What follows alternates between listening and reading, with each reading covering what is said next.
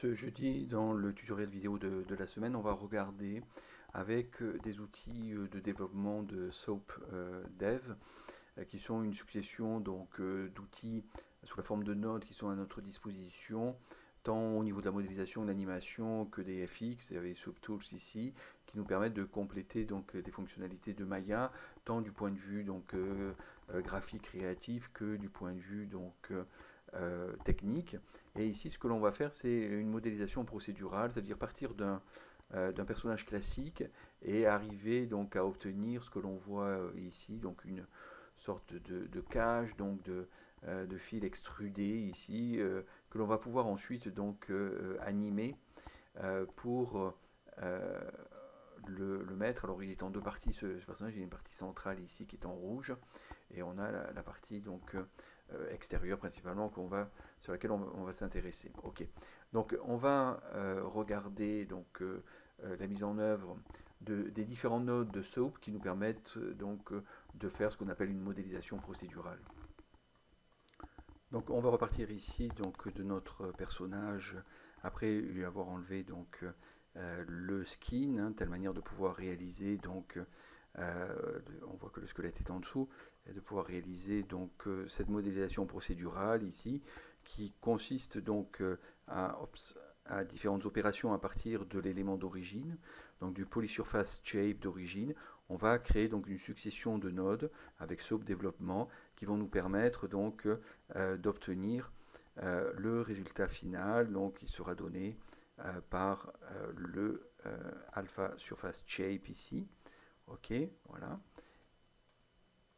À, travers donc des extrusions, des smooth face, pour obtenir le résultat que l'on voit ici à l'écran. Ok, donc pour aller assez vite euh, dans l'interactivité ici de, euh, de, la solution, on va travailler sur une forme plus simple, hein, euh, un cube par exemple. Donc on va partir d'un cube ici subdivisé. Donc on va faire input-output donc dans le euh, viewer ici, ok. Euh, donc on a polycube, euh, polycube, cube, pcube shape et on va venir donc casser donc la relation entre la génération donc de base donc du polycube ici et le polycube shape. Au cas où on n'est pas donc on travaille pas avec une primitive avec un élément déjà fini, pour avoir un élément d'origine, on n'aurait que le, le, shape final ici. il suffit de mettre une euh, modeling, une fonction, quelle qu'elle soit, bevel par exemple, hein. et donc on va récupérer un euh, pcube shape ici, et un polysurface shape qui va être euh, considéré comme celui d'origine avant qu'on applique le bevel.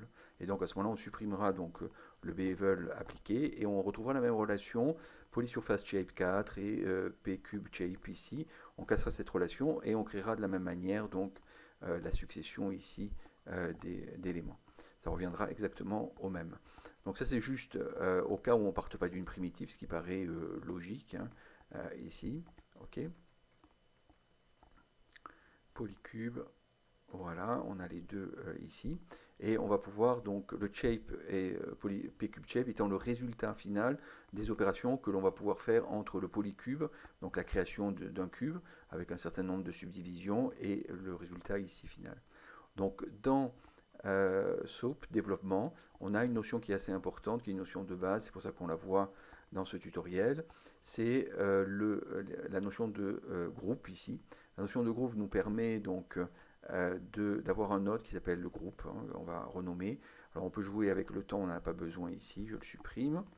Et ce groupe-là, CTRL 1, on va l'appeler arrête pour les arêtes ou bevel euh, ou euh, age pardon euh, et on va faire un bevel age voilà et on va venir sélectionner le type de composante que l'on veut extraire du, du mesh, donc mesh age. Et dans pattern, on va dire si on veut l'ensemble donc des éléments ou un certain nombre par 7, on aura pu classer par 7 et on pourra venir donc ici les extraire et l'éditer. Là, on veut tous les éléments, donc on met étoile. Et on n'a pas d'opération pour l'instant à mettre, ni sur des combinaisons sur l'input componente ici. Donc on récupère tous les edges euh, du cube et on va connecter donc euh, ici output over in géométrie ici, et on envoie toutes les informations du polycube dans le groupe Edge ici, qui récupère juste les Edge. Et donc à partir de là, au niveau des Edge, on va appuyer sur Tab et faire polybevel. OK. Et ce polybevel va nous servir donc de node pour faire le euh, bevel donc, euh, des Edge. Donc là, on va faire deux connexions, euh, il ne faut pas se tromper. output component et output géométrique, c'est-à-dire qu'on va envoyer l'information du componente du edge dans le bevel pour qu'il fasse bien le bevel des edge et out, out géométrie va transférer l'information de la géométrie. Donc deux opérations à faire, out component ici donc over in component et puis out géométrie hein, ici donc over et display show hidden input euh, ici bevel mesh. Donc du coup ici on a donc euh, les bevel. Alors on voit rien pour l'instant, on va raccorder temporairement le poly bevel donc output à in euh, mesh ici. Voilà, et donc on voit ici donc le bevel des edge qui est réalisé, alors peut-être trop puissant, donc 0,1, ok, voilà, et donc on voit donc euh, le bevel ici qui est réalisé. On peut encore faire varier 0,6 par exemple. OK. Alors ce qu'il faut préciser dans le Edge ici, Mesh Edge, on l'a mis, très bien. C'est bien les Edge, poly 0,1. OK, voilà. Et donc on voit les, bevels qui euh, sont faits sur les Edge et qui ont carté, qui ont créé de nouvelles faces ici. OK. Donc à partir de là, on va venir donc euh, récupérer maintenant euh, ce poly. On, recasse ici. OK. Et ce que l'on va faire, c'est qu'on va créer donc un nouveau groupe. Ici, soap, subnode group. OK, toujours pareil, le temps, pas besoin. Le groupe, on va l'appeler à face. OK. Et on va venir récupérer donc donc ici, il faut récupérer output de manière classique over in géométrie. Donc ça, c'est les faces. Mesh vertex face. On les veut toutes ici. OK et donc ici, on va récupérer les faces, toutes les faces, et ici, on a les polybevel à la sortie, les nouvelles faces qui ont été euh, créées. Et on va faire le comparatif entre les deux. On va comparer donc euh, les deux euh, ici. En faisant, en créant un nouveau groupe. Alors, je vérifie, donc celui-là, il est bien en mesh face et pattern étoile. Et donc, on, crée encore un groupe qui va faire un comparatif, donc qui va être l'intersection, faire des groupes d'intersection. Alors, ça va être les faces, faces euh, restantes, par exemple. Hein. Après l'intersection. Voilà. Et donc à ce moment-là, ici, on va euh, relier donc euh,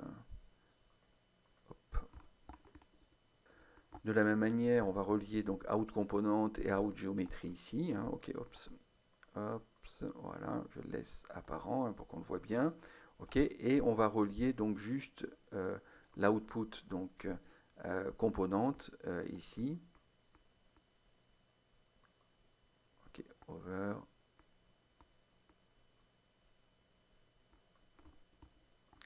et euh, c'est plutôt pardon, la out géométrie sur la in géométrie euh, ici, puisque c'est ce qu'on veut euh, récupérer ici, mais on s'est juste trompé, décalé d'un cran, hop, on revient. Voilà, c'est ces deux-là, c'est le polybevel, la sortie avec ses composantes ici que l'on va brancher, ok, pour faire le comparatif entre les deux, ici. Hop, je reviens juste sur euh, Polybevel qu'on a créé et le face ici pour les faces restantes connexion. Donc output in géométrie et out component in component. C'est-à-dire le groupe des faces envoie donc euh, les composants face dans les faces restantes ici et in géométrie la géométrie. Du coup ensuite par rapport à ça on va faire la même chose que pour entre le edge et le polybevel. On va créer entre les faces restantes un euh, délai de composante euh, ici. Donc euh, on tape, euh, il est déjà créé, mais euh, componente, hein. et on relie donc la même chose, j'ouvre output component, delete componente, out géométrie, input géométrie, donc on transfère toujours l'information de la géométrie, comme on l'a fait donc entre Edge et Polybevel ici. Ok. Et donc ensuite, on relie à la fin, je vais le refaire ici, l'out géométrie, ok, à InMesh pour obtenir donc le résultat final ici. Donc du coup, après, on peut revenir sur euh, Polybevel éventuellement, euh, le l'agrandir un peu.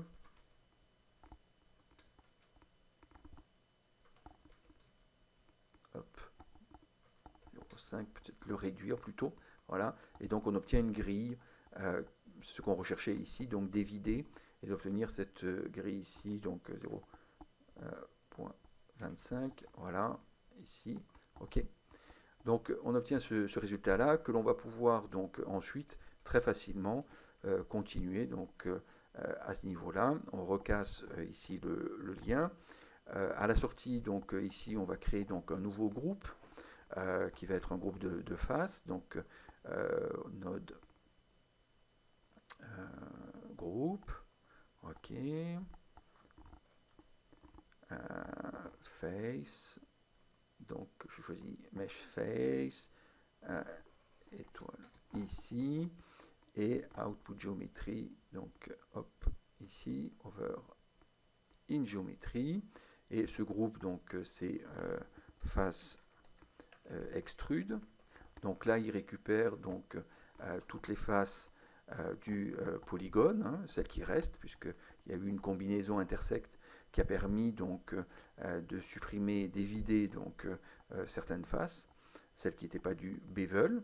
ok Et puis donc euh, ici, on va de manière classique utiliser l'extrude. ok et donc, on va mettre en place ce poly extrude face. Alors, je vais revenir sur mon personnage, c'est plus sympa ici. Donc, puisque ça, c'est la fin. On, a la même chose, hein, face intersect ou face restante, poly bevel, les deux. Euh, pour mon personnage, j'ai fait exactement la même chose que je viens de montrer pour le début du cube. Et poly extrude face ici. Donc face extrude, bien sûr, mesh face, component type, euh, pattern étoile, poly extrude face. Et donc euh, ensuite, on va extruder par rapport au local translate en Z, hein, selon une certaine valeur ici. Donc ça pourrait être 2 par exemple, hein, ici. Et on aura donc à ce moment-là euh, une extrusion plus faible euh, ou plus forte si on met une valeur euh, ici plus importante, avec tous les outils du polyextrude face hein, historique que l'on a donc ici mis en place. Ensuite, on pourra donc refaire, on le voit ici apparaître, un groupe, donc hop, voilà, de, encore sur les faces, que j'ai appelé face smooth éventuellement, donc mesh face et pattern, toujours pareil, c'est un groupe, avec toujours les mêmes connexions, hein, je reviens dessus, pour le renoter, euh, out, out euh, component input euh, component, out geometry, input polymesh. Donc ensuite output vers input ici géométrie. Et ensuite on retrouve donc pareil in géométrie, on retrouve avec l'outil polysmooth face les mêmes connexions sur le groupe. Et on va donc à ce moment-là ensuite output et in mesh. Voilà, pour avoir donc euh, le résultat final. Et on aura tous les outils, si on a fait une subdivision level de 2, hein, pour avoir quelque chose d'assez arrondi euh, sur la grille, comme on peut le voir ici. Donc ça donne, voilà le résultat qu'on obtient ici.